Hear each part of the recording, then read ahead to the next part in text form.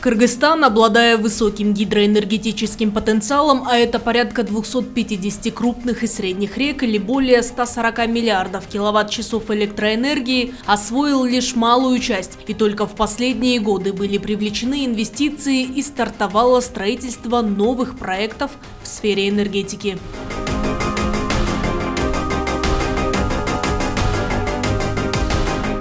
Словом, суммарно гидроэнергетический потенциал рек может дать колоссальную мощность, которая вполне покроет внутренние потребности. Более того, этих мощностей хватит, чтобы создать резерв, необходимый для развития экономики и промышленности, а еще для экспорта электроэнергии. Потому президент Садыр Джапаров неоднократно призывал и призывает инвесторов к сотрудничеству, в том числе в ходе зарубежных визитов.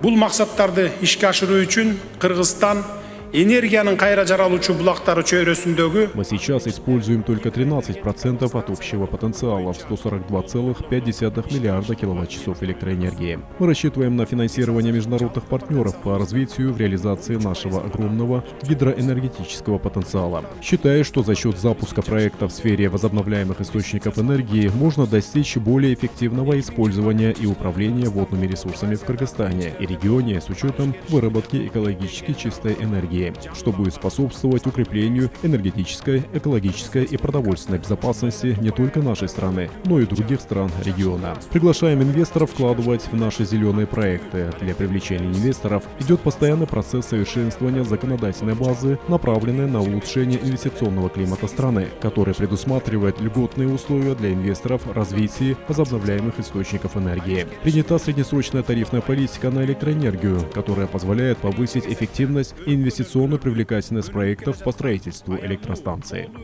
По всему Кыргызстану сегодня возводят десятки гидроэлектростанций. Аккурат к Дню независимости были открыты малые ГЭС в Кадамджае и Нуокате. Сразу два энергетических объекта в один день были открыты в конце июля в Джалабадской области. В Сузакском районе ГЭС Куйкарт мощностью 6,8 мегаватт, а в Токтогульском районе ГЭС Кайнама, два агрегата которой будут выдавать 9,8 мегаватт.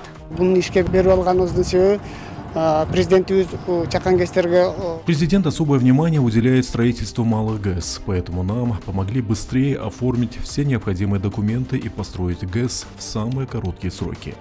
Флагманом отечественной энергетики станет Камбарата-1. Запуск этой гидроэлектростанции имеет общереспубликанское значение. ГЭС позволит решить вопрос с энергетической безопасностью в стране, а особенно учитывая тот факт, что спрос на электроэнергию только растет. кылым курулушу атыккан камбарата биргесинин курулушу башталганын өзүңүздөр билесиздер Инвесторы уже найдены, и в ближайшем будущем при правильном и экономном использовании водных ресурсов страна начнет экспортировать производимую электроэнергию. Кыргызстан, находясь у истоков рек, систематически сталкивается с проблемой нехватки электроэнергии. И за последние два года страна сделала значительные шаги вперед, улучшив ситуацию благодаря реализации проектов по строительству гидроэлектростанции. Говоря о возобновляемых источниках энергии, в минувший четверг в Исыкульской области стартовало строительство ветроэлектростанции. Ее мощность составит 100 мегаватт, а планируемая годовая выработка 290 миллионов киловатт-часов.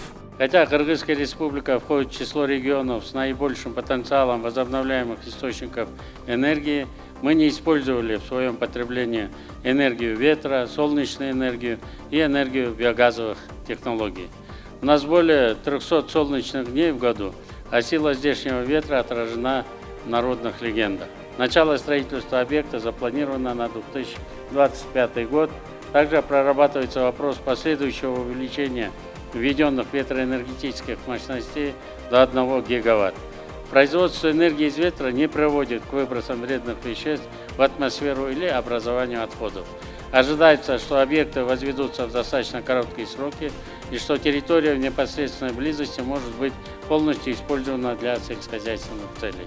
Инвестпроект реализует акционерное общество «Росатом. Возобновляемая энергия». В начале этого года было установлено оборудование для проведения испытаний. Мы уверены, что создание новых энергетических мощностей поможет дальнейшему социально-экономическому развитию Сыкульской области, Киргизии в целом. Благодаря той энергии, которая здесь будет вырабатываться, появятся новые предприятия, новые рабочие места, появится инфраструктура, улучшатся дороги.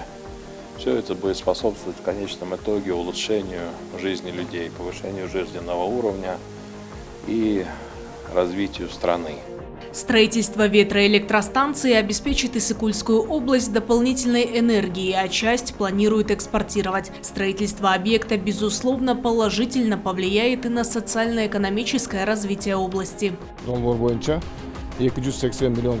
По нашим подсчетам, прибыль от ветроэлектростанции, которая будет поступать в местный бюджет, составит порядка 60 миллионов сомов.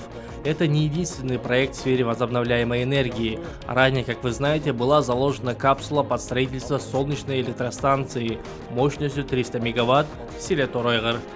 А в конце прошлого года в Дубае было подписано трехстороннее соглашение между кыргызским Минэнерго, французским Электрисите де Франс и абу-дабийским Маздаром о реализации проектов в сфере возобновляемой энергии. Заявляю готовность сотрудничать с Кыргызстаном, реализовывая проекты, заложенные в подписанном документе. Это соглашение – результат плодотворных переговоров между Францией и Кыргызстаном. Хочу подчеркнуть важность реализуемого в Кыргызстане проекта – строительство Высокольской области солнечной электростанции. Используя свой многолетний опыт, мы хотим поддержать достижение цели вашей страны в сфере чистой энергии. Такие шаги, безусловно, будут способствовать притоку новых инвестиций. Это тренд будущего развития. Словом, энергетический вопрос, который длительное время был одной из ключевых проблем национальной экономики, теперь находит свое решение благодаря запуску новых энергетических объектов. инвестицияның дагы иштеп кетишине эң чоң Э, был. Это позволит проектам в области возобновляемых источников энергии и других секторах стать более привлекательными для инвесторов и поможет развивать энергетику страны. Этого указа президента ждали многие инвесторы и крупные компании, которые хотят вложиться в энергосектор нашей страны. Сейчас уже многие компании принимают участие в конкурсах по реализации зеленых проектов. Тем самым они выражают доверие и заинтересованность. Сейчас в первую очередь поставлена цель достичь энергетической независимости. Все эти проекты могут помочь Кыргызстану значительно снизить зависимость от импорта электроэнергии, повысить устойчивость и надежность всего сектора, а затем от импорта перейти к экспорту электроэнергии. Аяна Дюшикеева, Бекджан Токтосунов, Фалату 24.